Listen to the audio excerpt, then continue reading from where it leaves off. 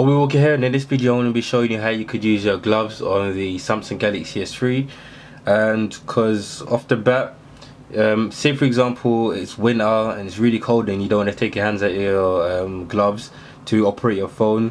As you can see it doesn't work straight off the bat. It's just completely unresponsive. Um, it did swipe because of I got a little hole in my glove so kind of ignore that. But you can see it just doesn't work. It's not responsive at all so to fix this we're going to jump straight into the settings. We're going to go into display settings and just going to scroll right down to the bottom.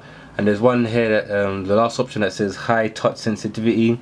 It will increase the sensitivity while you're wearing gloves. So we're just going to tick that box. We're going to go straight back to the home screen using the same glove. Um, we can now swipe across. We can actually interact with the phone a lot better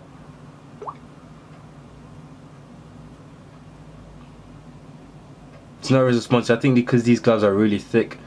But for the most part it's still responsive. You can still um, operate the phone. And yeah with these gloves it just makes things so much easier to do just by changing that um, option.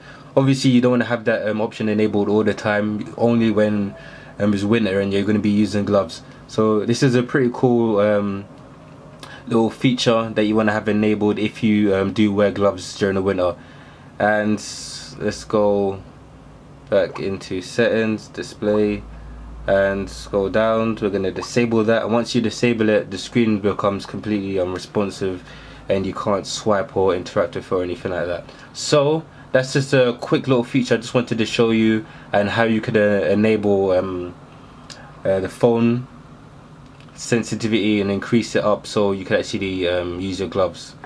So yeah leave your comments in the comment section down below. What do you think? Do you like this feature? Do you find it useful? I personally find it useful because in the winter time i do wear gloves and i've always wanted to use my gloves.